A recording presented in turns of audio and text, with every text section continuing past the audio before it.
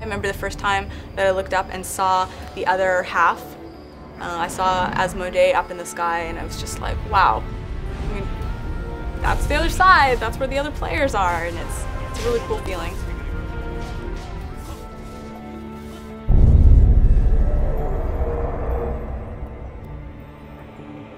I am Lanny, also known as Liv. My main character is Liv, and that is actually the same name I go by uh, in the community, and um, she is a sorcerer. I am uh, many people in game. I really try to play as many characters and classes as I can, just because I get um, asked so many questions every day about all of them.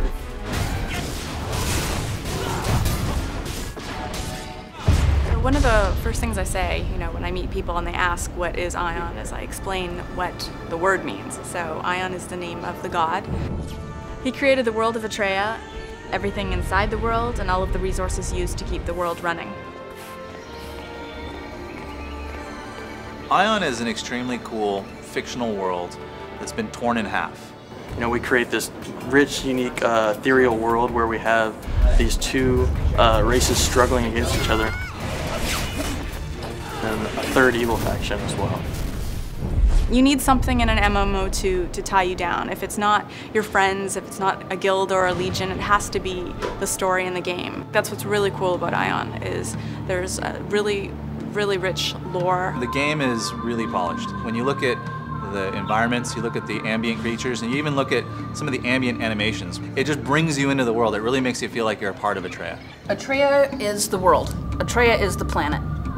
So the sphere uh, in which in, inside which everyone lives, and the Tower of Eternity was sort of like the sun. It was the place from whence all energy and life was bound to flow. If you kind of think of um, an apple, like an apple core, that's kind of what it is. Like the Tower of Eternity runs right through the center. When you look up in Aion, you see both the stump of the Tower of Eternity, as well as in the distance what might look like stars, but is actually the other half of Atreia. So we have the upper half of Atreia, which is Asmodae, and the lower half, which is Elysea. The Elyos have stayed almost true to how they looked a thousand years ago. They have rich beaches and lush green environment. The Asmodians, they really had to struggle to survive. And what I think is really cool, their eyes glow red when they're about to engage in combat. The major story point, the thing that drives the player to uh, move forward, and kind of the, the overlying arc of the, of the main story would be the destruction of the Tower of Eternity. I think that's really why we're here. What happened was is the god Aion created this race, and this race, you know, rose to power and became known as the Balaur. And this Balaur started to terrorize all the humans on, you know, all parts of the world. And this obviously, you know, didn't go well for either side. There was lots of bloodshed and war and fighting. And that battle occurred and the tower was shattered. Thousands of years went by where they had no idea that the other side had survived and they started to evolve differently. That's when um, they rediscovered each other in the abyss. That is in the center of the planet and that is home to the Balaur and they are um, AI controlled faction. We have the three factions, the Asmodians, the Elyos, and the Balaur all together in the abyss fighting for eternal power.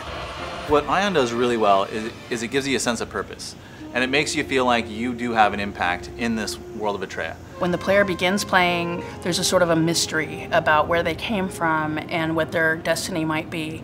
And it doesn't take long before they realize that they are destined to become, to ascend and become a Daeva and fight in this sort of holy war. You actually go through a process called ascension. Ascension is this, this awakening inside of you that happens through a life-altering event. You know, the best part of this is that you actually earn your wings and the ability to fly. You learn you're immortal and you get wings. It doesn't get much better than that. we have this element of flight in the game. Flight, it's added an entirely new dynamic to battle. There's a lot of strategy that goes that's involved with flight. A new way of getting around in the world that MMOs haven't been able to do to this point.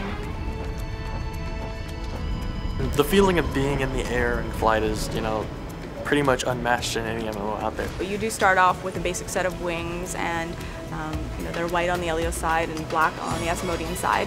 And that's something that you get to evolve and customize and build upon uh, through the development of your character, is adding longer flight ability, uh, adding enhancements to your wings so that you can fly longer. You'll actually see people kind of go into this, you know, do I want to be aerial heavy or do I want to be kind of a ground trooper? People are going to have to manage their stats based around that. You're not going to be able to have everything. And this will create a diversity in, you know, throughout classes, throughout stats, and just more customization in the world of Aion. It actually leaks into your real life. I, I went hiking this weekend and I was standing on the, the top of Mount Si and I was looking over the Seattle horizon and I was like, man, if I had wings, this would be so cool. I could just like fly down. And I think that, that you, you have that same feeling in game where you just, you know, jump off a cliff and hit spacebar.